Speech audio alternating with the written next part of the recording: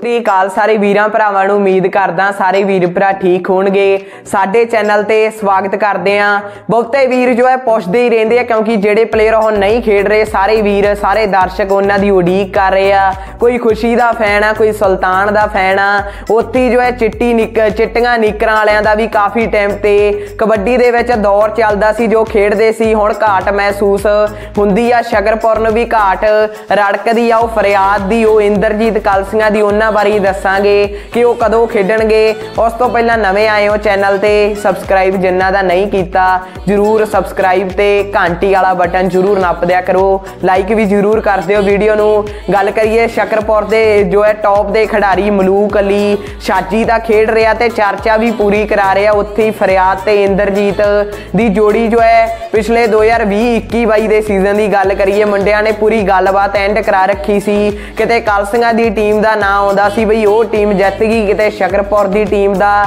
ਪਰ ਹੁਣ ਗੱਲ ਕਰੀਏ ਆਪਾਂ, ਕਦੋਂ ਖੇਡਣਗੇ ਇੰਦਰਜੀਤ ਤੇ ਫਰਿਆਦ ਦੀ ਜੋੜੀ? ਚਿੱਟੀਆਂ ਨੀਕਰਾਂ ਵਾਲੇ ਤਾਂ ਫਰਿਆਦ ਦੋਸਤੋ ਮਾਰਚ ਦੇ ਵਿੱਚ ਵਾਪਸੀ ਕਰਨ ਜਾ ਰਿਹਾ।